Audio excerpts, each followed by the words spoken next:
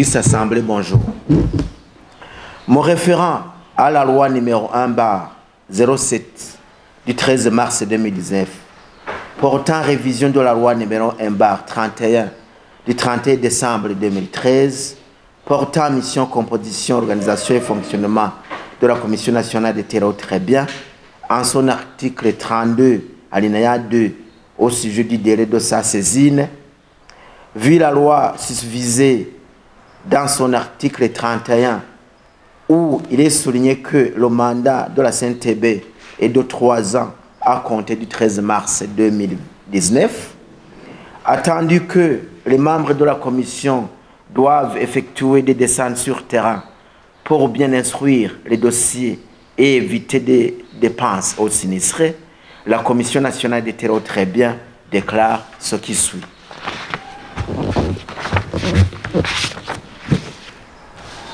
Aucune saisie ne sera pas possible à partir du 13 mars 2021. À ce titre, il est recommandé au président des délégations provinciales d'en tirer les conséquences. 2. Néanmoins, la Commission continuera à connaître de toutes les affaires soumises avant cette date-là pour par des sinistrés ou des occupants secondaires, tant au niveau national que tant au niveau provincial que national, en vue de la restitution de leur patrimoine. Article 7, premier point de la loi régissant la commission. Dans l'attente de la fin du mandat de la commission prévue le 13 mars 2022, la commission attire l'attention sur les points suivants. 1. Le respect de la commission et de la loi qui la régit, d'autant plus qu'il y en a qui font la sourde oreille aux décisions qu'elle prend, surtout quand il leur est demandé de suspendre les activités dans des endroits litigieux. 2.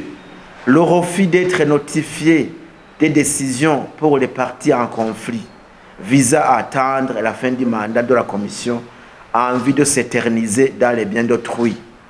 3. La diffamation à l'égard de la commission. Il est prié à quiconque, croyant avoir été victime d'infractions, d'en fournir des faits constitutifs et de saisir plutôt les organes habilités. 4. La contrefaçon ou la falsification des sceaux de la commission, non sans parler des faux en écriture, comme par des gens qui ne veulent pas réciter la chose d'autrui. Je leur conseille de ne plus se hasarder parce que ce sont des infractions punissables par le code pénal bondé. 5. Des propos mensongers faisant état d'une nouvelle saisine par la CNTB quant aux affaires arrangées à l'amiable déjà clôturées. Ce qu'il faut savoir, c'est que les erreurs appelées erreurs de forme, c'est-à-dire n'atteignant pas l'affaire au fond, ainsi que les erreurs commises lors des exécutions se corrigent toujours. 6. La situation des gens s'étant forgée en prétendu commissionnaire et représentant une autre partie au conflit qui, car ils sont déboutés, se mettent à dire du n'importe quoi. La commission saisit cette occasion pour les mettre en garde. Enfin, l'incompréhension de la loi régissant la commission en son article 22, alinéa 2, qui donne de la latitude au président de la commission de pourvoir ordonner, selon les circonstances, le sursis à l'exécution de la décision prise.